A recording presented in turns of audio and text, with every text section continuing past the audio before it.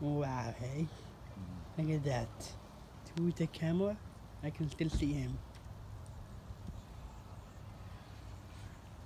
There he goes. Hmm. Oh, where did he go? Well, he just went behind the shed.